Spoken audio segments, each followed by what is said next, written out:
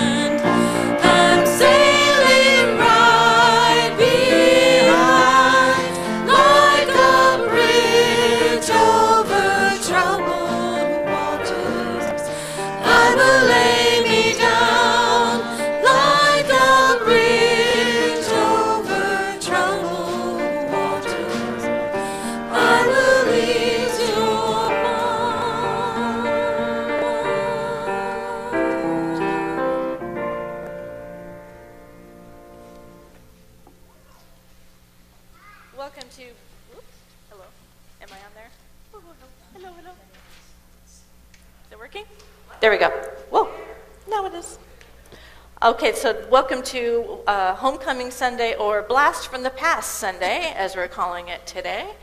Um, we decided that we would, we, Chris and I get wild and crazy ideas in the office, so you can blame us. But anyway, we decided that for our regathering in the fall, you could choose your era uh, in which to dress, and some of you are really easy to tell which era you're talking about here. Uh, Mike, why don't you stand up, because I want to give you a bad time because it's so fun. You'll never guess what his era was. He assures me he actually did wear his hair this way back in the day. Yeah, okay, alrighty. And I just feel like we're singing good old youth group songs. This used to be contemporary music. Used to be. It used to be, right. Okay, well, we're really glad that you're all here today. It's, uh, we're really looking forward to being together, and we have a barbecue coming up. We've got some wonderful cars out there to look at, and we've got a labyrinth to, to walk, and let's see, and a photo booth. So there we go. We're just going to have all kinds of fun. And um, so as we begin our worship today, I would ask you if you would look at the pew pocket in front of you. There's a little blue card.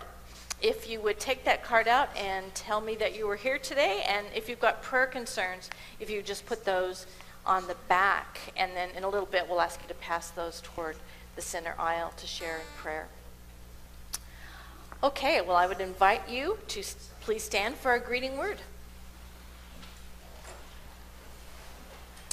Wherever you've been, Welcome back.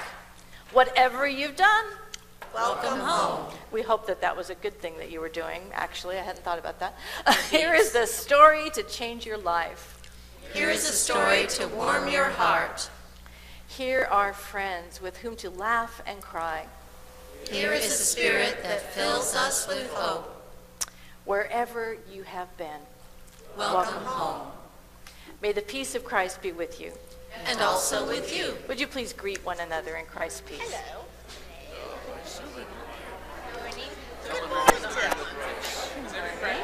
Yes, definitely wine time this Okay. week. There's Yes. my dog.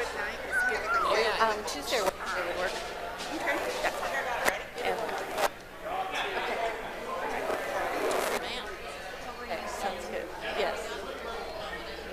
How are things at your house? Are, Oh, okay. Are they okay? I mean, the fire's dying down? Oh, yeah, yeah, yeah, yeah, yeah, Okay, yeah, good. yeah, yeah, yeah. Um, Good. it's good. Uh, it- you know, whenever you see, uh,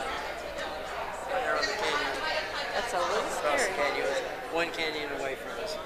Still, that's not very far. Yeah, yeah, hold your attention. Yes. Yeah. We're good. Thank you. Good, good, good. Morning, Dean. Blessings with you. Good morning. Carlos, good to see you. Good morning, Nancy. Good to see you. Good morning again. Morning, Jan. Morning, Jan. Good morning, Doug. Good to see you this morning. Yeah, this is Camp Sunday. Sorry about that. It's we got hymns coming up later.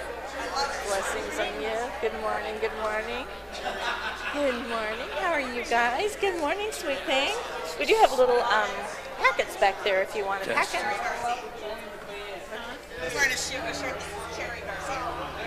Vicky. Good to see you. Been missing you. Good morning. Good to see you, Sharon. Sophie, What's up? It's is your last time here for a Oh, while. thanks. Oh, no, stop. It is, because next weekend we'll be at the coast.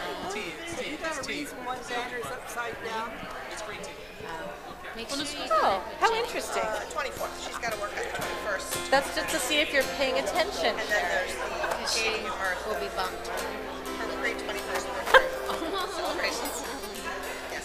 What is on the, the docket Oh, I don't know. They- Oh, okay. They're just, I don't need to know. No. no. invite you to be seated. Uh, the band is going to sing something for us, and while they're singing, we're going to show some slides that Chris put together for us. So you'll just sing through and then you'll play or what?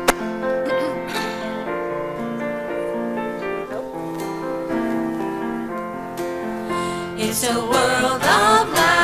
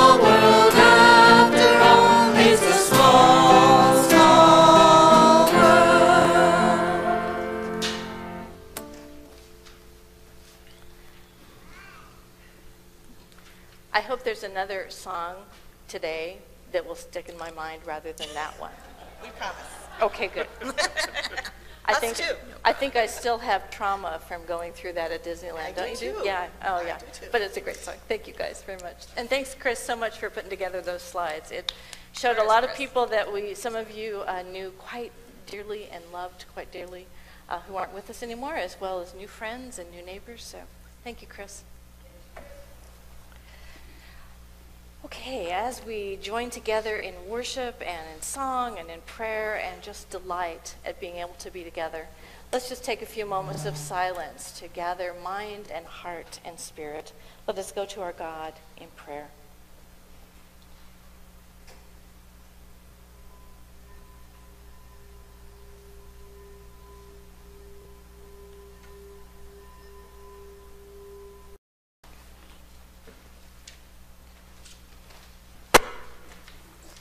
And now may the words of my mouth and the meditations of our hearts be acceptable in your sight, O God, our rock and our redeemer. So I was, I don't know even exactly how I saw this scripture, but it, it's like one of those times when you just see something that's off in the distance, kind of out of the corner of your eye. But as soon as I heard the words that God whistled, how could I how could I resist that? The idea that God whistles. So when you think of whistling, what kind of images come to mind besides Snow White? Happy. Yeah, I always think about happy. What else? The trees rustling. Calling a beloved dog. to you. Calling a beloved dog to you. Everything is at peace.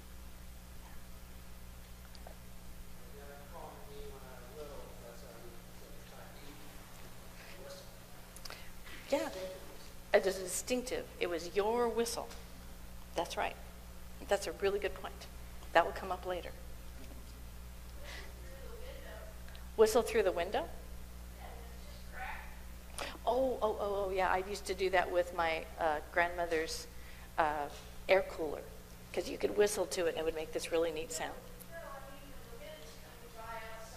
Oh, and it whistles through your window. Okay, now I'm with you. Okay, awesome. Yeah, there's there's lots of different things that I think of when I think about whistling. One of them was that my dad was a, a whistler, so I always knew where he was, and he usually had a preference for like maybe uh, Andy Williams or something like that. So I'd know that if I heard Dream, uh, what is it? Anyway, that song that, something like that. Anyway, whenever I heard him whistling, I knew that he was he was home and he was in a good mood. if you didn't hear the whistling, it might have been a really long bad day. Um, I, I actually had a, a, an acquaintance one time who was not just a whistler who could, who could whistle in, you know, just little simple songs, but he actually uh, could whistle operatically, which is, I've got to tell you, about the scariest thing I've ever heard in my whole life. He could actually whistle the Queen of the Night opera aria in the right key, which goes clear above the staff, you know, and it would be enough to break glass in windows. but, but it's amazing. So sometimes it's a skill, sometimes it's a way to call a dog or a child to you, sometimes it's a, a way just to show that you're happy, which is always fun. Uh, it- there can be a lot of ways that we use whistling. Um, but I guess what I loved about it is just the idea of God just doing something as, as human as that, of, of God whistling. But when, when the scriptures talk about whistling, I think there's three, depending on which translation you're in, sometimes it says that, that God is, is calling to us. But in three different scriptures in uh, the Old Testament, it talks about God whistling for the people, and I just, I just love that. The first one is from Zechariah. It says, "I will whistle for them to gather them together, for I have redeemed them, and they will be as numerous as they were before." In Isaiah, God will also lift up a standard to the distant nation, and he will whistle for it from the ends of the earth, and behold, it will come with speed, swiftly. That was not a good one. that was where whistling was because there was going to be consequences. But in Isaiah 7, it says, And in that day the Lord will whistle for the fly that is in the remotest part of the rivers of Egypt, and for the bee that is in the land of Assyria. And I have no idea what they meant by that. But I had this idea that the, I, the concept of whistling, when God is doing it, has a lot to do with what God longs for all of us to be and to be part of. Because I really truly believe that God's dearest and deepest longing is to gather us in from all those scattered places in our lives. And sometimes there's scattered places even in our own minds. I know that all of us have those days when it feels like uh, the diaspora, the scattering, the, the going out part of our life just seems like it's all twirling around in our heads, and there's so much going on in there that we just wish for a little peace and a little quiet. Brennan Manning is, is a, an author. Again, it was one of those the corner of my eye moments when I saw a quote from Brennan Manning this week that talked about the furious longing of God. I love that adjective. The furious longing of God in one of his books called The Furious Longing of God, he says this You are blessed. God's desire is for you. And Jesus is the incarnation of God's furious longing. He is your supreme lover. It's true. You are blessed. Your soul's winter is over. The snows are over and gone. Flowers are blooming inside of you. The season of joyful songs has come to you. To you, you are blessed. The love of God is falling. No one is excluded. All, really, are called to the banquet table. Come and be filled. You are blessed. And then he says, Beautiful. Be you. Just you. Just be. Love supports you. You are blessed. You have learned the purpose of life love. You are blessed. You can pray like a child and enjoy God. You are blessed. Heal and be healed. Reclaim affirmations for the kingdom of God. Amen, amen, amen, amen. What beautiful words. I love the concept that God's longing for us is so great that He will whistle to the ends of the earth to get our attention. It reminds me of the scripture where Jesus says, And my sheep know my voice, and when I call to them, they will come. And it's true that if you're a, a, a sheep herder, that oftentimes is a very distinct whistle that brings those sheep in because they know the difference between one whistle and another whistle. It's because that, that one whistle is the one where there is safety and love and protection and enough and other whistles could possibly mean danger. I think about those times when, um, in Scripture, in the Old Testament in particular, sometimes there are blessings of God and sometimes there appear to be curses. And I struggle with scriptures about that, like in the book of Leviticus and in some parts of Isaiah, because it, when the people of Israel are, are scattered, it generally is because it's a consequence of their behavior. And I think sometimes when I'm scattered, it's also the consequence of my behavior. Because sometimes I scatter because I'm just a little lost. I, I go away from a relationship or, or a piece of, of work that I'm working on, maybe because of fear, maybe because of discouragement, maybe because of depression. But there's some times when I feel like I'm scattered away from God and from other people and even from myself. But what I love about the scriptures, especially the ones in the Gospels, is that Jesus, when Jesus calls, it's always to call us back home.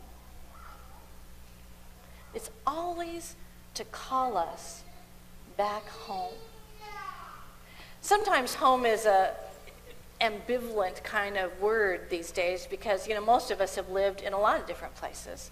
Uh, some of us have places that we call the home place, or when we say home, there's one specific place that we mean. For somebody like me, where I have lived so many different places in so many parts of the country, uh, home generally means where my people are.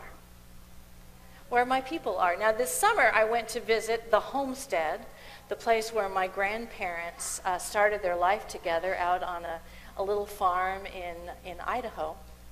And I knew that it would be different, so I was kind of prepared. But one of the things I wasn't prepared for is how small everything looked. I mean, I knew it was because, you know, when you're a kid, everything is so big. And I remember the great big green lawn, and I remember the house, and I remember all of the things that were just so special about my life there with Grandpa and Grandma, and the, the tree swing, and the enormous shade trees, and, and the open fields, and the enormous Snake River that was flowing uh, to the east. And it was so beautiful. And it was home for me. And I always figured when I grow up, I'd just go and live with Grandma and Grandpa because that just seemed like the perfect place. Because the great thing about grandparents is that, you know, um, they're just a little easier on you than your own parents. I don't know if you've noticed this. But at grandma's house, there was always juicy fruit gum in the cupboard, and we did not have to ask. At grandma's house, there was always Fanta Pop. We never got Fanta Pop at home. And she wouldn't just get one flavor, she'd get five or six for the four grandkids as they came. And, and again, we didn't really have to ask permission for those things. The one thing that we, we always got in trouble for, though, uh, because you did need to ask permission for this one, is because they're on well water, their well water smelled really bad to us city kids. In fact, it smelled like, well, I don't, can't even describe what it smelled like, because to a kid who grew up in Portland, Oregon, it was like, oh my gosh, what have they done to this stuff? But there was one way that my grandfather always used to, to make it taste a little bit better, and that is he had a mason jar that he would fill up with water and put in the fridge. So that when he came back from the fields, he would have this ice cold water waiting for him. We just thought that was the coolest thing ever. And un- unbeknownst to each other, we would all sneak in and take sips out of it throughout the day. And then he would come in and there would be an explosion because there is this much water left in his mason jar. And of course, nobody was guilty because we all were. But that is one of the places that's always home to me. This is one of the places, the church, whether it's uh, the church I grow with, grow, grew up in or churches that I have been pastor of or been members of or been active in, no matter where I am in the world, I know that I can go home by going to a local church. Because it's there that these people have, have stories that are like my stories, and they're, they welcome me because they know and recognize that I'm a member of the family. Now, not all churches are able to do this, but it's always something that we strive for.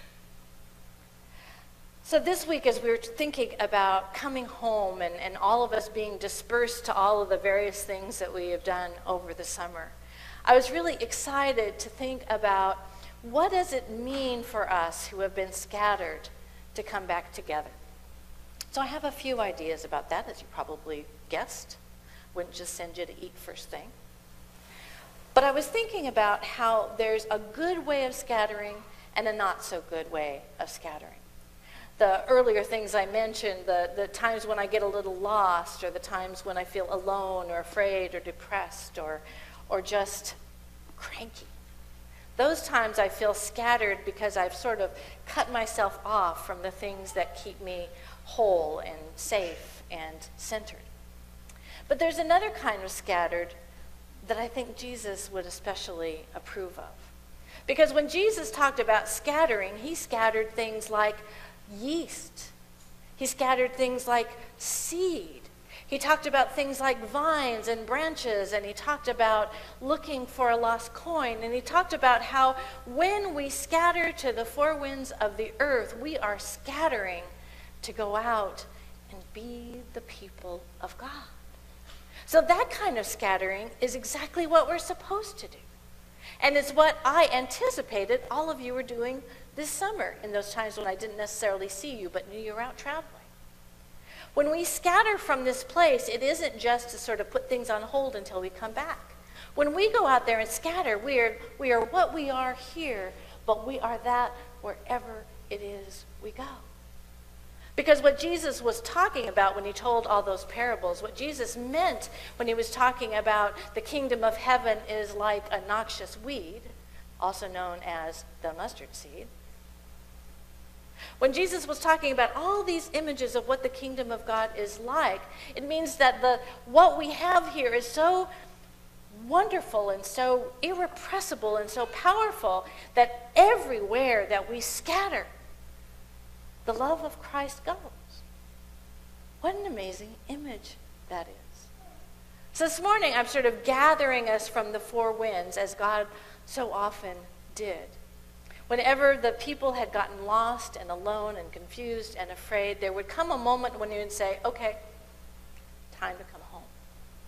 And homecoming was that moment when you all get together and you share your stories, just like the disciples did when Jesus sent them out. Remember when Jesus sent them out and they were to go to all of the cities and, and preach and teach and heal people. And then they came back and regathered, and there was laughter and tears and storytelling and good food because they had scattered and now they came together to tell the news, to refresh to remember who and whose we are, to re engage, to remember what it is that this thing that we do called faith is really all about.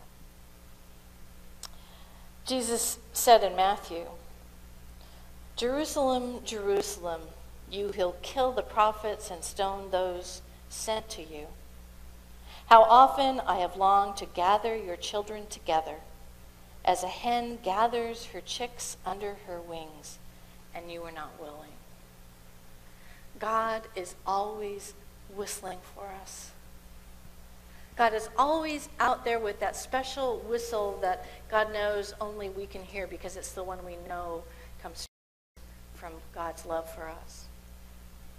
Now, there are times when we're not very, we, uh, we don't respond particularly well to a whistle. We once had a dog named Max who was just a beautiful little white dog, and he was so friendly, and he just loved everybody. And he was an extrovert. He was the only extrovert in our household at the time. And what that meant was that every time the door was open, he would try to run out. And once he ran out, he thought, aha, we can play the game. And the game consisted of, I will run, you will chase. And it didn't matter how many different ways we tried to get that dog back. I think I even tried Cheerios in a box rattling at one time. No matter what we did, he just wasn't going to be ready until he was ready. I think I'm that way too. I think there are some times when God's whistle is out there, and, and I know it's out there, and I know that it's a good thing coming when I come home, but I just can't quite get there yet. And that's where we are too. You know, there are some times and some moments in life when we would love nothing better than to hear that whistle and come, and other times where we just can't quite make it yet. And all those things are okay. All those things are a gift from God who will continue doing our special whistle, a little bit like the Labrador, who I'm sure would love to whistle for his people, much like he has whistled for on our picture on our bulletin today. God is out there whistling and singing and loving and inviting and longing for us in that radical, furious way. And our only job is to say, yes. Thanks be to our God. Amen.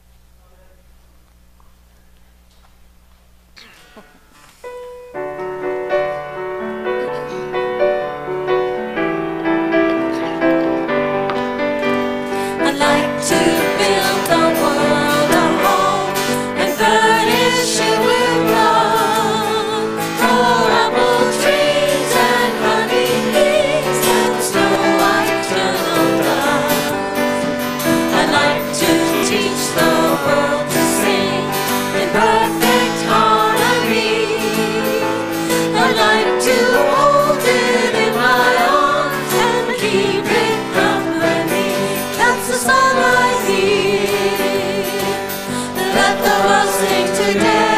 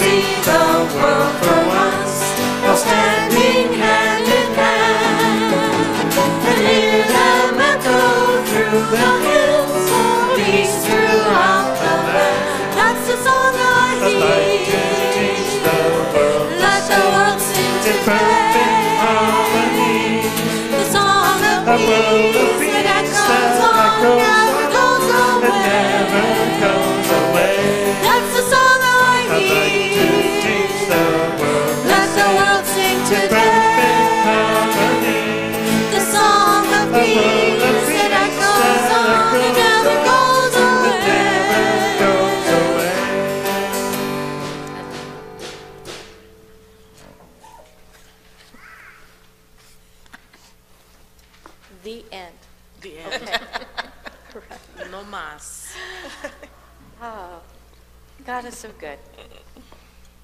We get to come here uh, whenever our hearts lead us, whenever we hear God's song, whenever we are called to love and to service and thanksgiving. In these moments, we also are thankful that God has given us the ability to share what God has given to us. So as we share together in song and in prayer and in word and in giving of our gifts, we know that God is present with us.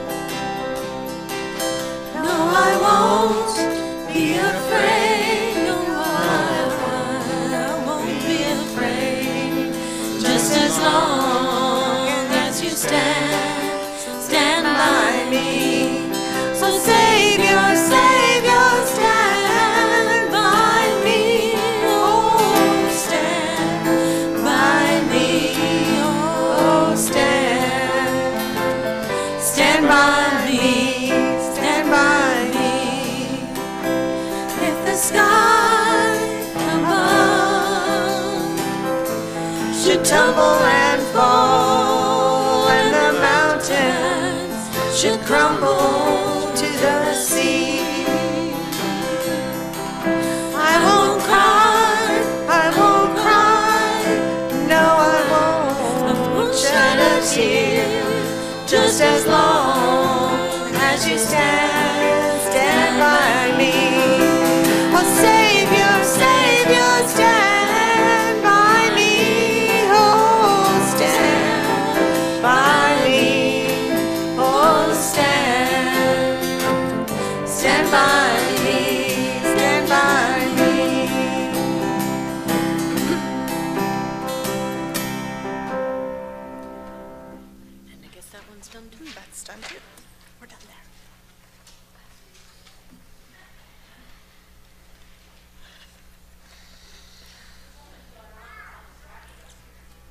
Okay, let us thank our God.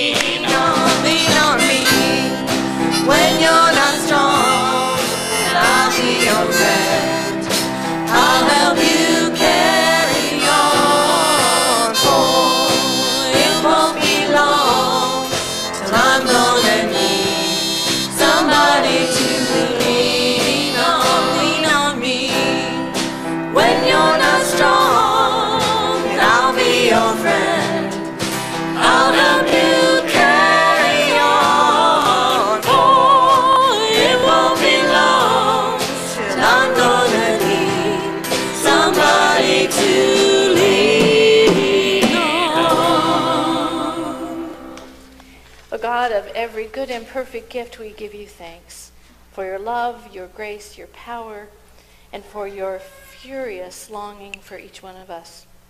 Help us, O God, to be that seed scattered wherever we go and to come home where we know that there will always be a place for us. In the power of Christ we pray. Amen. Please be seated just for a moment so I can make sure and not forget things here. This is Brown Rag Weeks, which means uh, it would really help us out if you come to the church about 3 on Wednesday to help unload the truck. That would be fabulous. And we always need extra hands, so if you want to stick around and help, that'd be great. Tuesday Bible study is starting up again Tuesday, September the 11th at 2:30 p.m. And if you've got questions, ask Kathy. Where are you sitting, Kathy? Kathy, raise your hand. There's Kathy. And it's a, um, I hear good things about that Bible study, so there's always room for more. Um, so today, after the service, we have our homecoming celebration out on the courtyard. The guys are cooking for us, and we've got a labyrinth. I have instructions for that if you need it. Um, but we just really want us just to get a chance to be together, to talk, to visit, to take pictures, take lots of pictures. I have this wild hair idea that we could take casual pictures that we could put in the directory. So um, there's even hats if you should decide you want to put a hat on for picture taking. So any other announcements we need to make today? I have one. Yes, ma'am. I'd just like to uh, thank Michelle and Jim for joining us to help us out for this. Service. Yes, thank job. you very much. And I'd like to apologize for Michelle and Jim being here. So. No, no, no, no, no, no, no, no, no, no. Um, okay, any other announcements? Any, oh, yes. Okay, Tuesday night is our community kitchen meal, and we could use some more people, so please see Terry after the service. Thank you. All right, all reset. Any ins- final instructions, Chris? Okay, let's stand for our closing song.